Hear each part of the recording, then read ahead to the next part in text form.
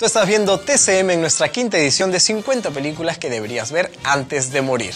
A continuación les presento El Gran Escape, protagonizada por Steve McQueen, James Gagner y Charles Bronson. Como su nombre lo indica, la cinta nos muestra el gran escape de un regimiento de soldados atrapados en un campo en la Europa ocupada. La historia está basada en hechos reales. La primera mitad de la película viene en un tono de comedia para descubrir todas las artimañas utilizadas en la construcción de un túnel que les permita escapar. Luego nos embarcamos en una gran aventura usando autos, motos, aviones, trenes, barcos, a través de toda Europa. Como sabemos, Steve McQueen era un aventurero en la vida real. Él pidió hacer sus propias escenas de acción, pero hizo también las acrobacias en motocicleta. Por supuesto que era muy bueno en ellas, así que la producción le pidió que usara también el vestuario del antagonista para filmar las escenas de persecución, primero como el héroe y luego como el villano. Por la magia de la edición, esto nunca se notó, pero podríamos decir que era McQueen persiguiendo a McQueen.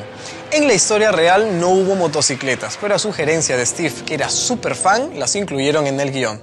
Charles Bronson en su juventud trabajó en una mina, así que esto le sirvió para supervisar al equipo de producción en la construcción de los túneles y todo el manejo de la tierra durante las escenas. El escape real ocurrió un 24 de marzo de 1944 y esa es la historia que inspira la película que veremos a continuación. Para mí es un gusto presentar en 50 películas que deberías ver antes de morir en su quinta edición, El Gran Escape, cinta de 1963 y queremos conocer tus opiniones, así que por favor síguenos en Twitter y Facebook y para saber qué otras películas forman parte de este ciclo, búscanos en tcmla.com.